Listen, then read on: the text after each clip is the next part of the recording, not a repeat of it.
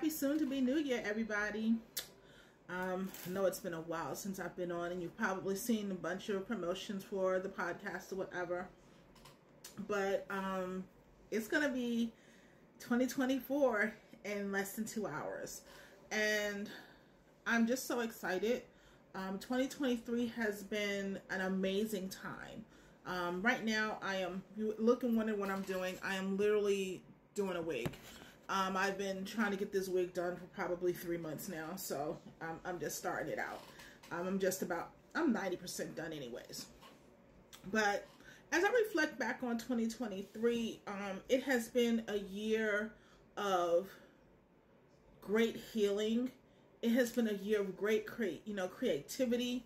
Um, I have so much content that I have written. Um, I've made some decisions in my businesses um, as to what's staying and what's going, and I have a renewed focus on um, uh, area that I had originally started out on, but because I was in my own healing phase, I kind of put it on the back burner.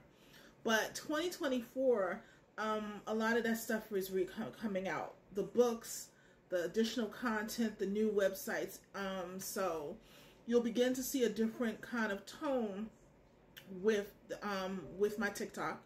Um, and really going back to what my original core was many years ago. So I'm excited about that. Um, I've seen so many of you doing so many amazing things, and I want to encourage you to keep on doing that. But let us keep 2023 drama in 2023.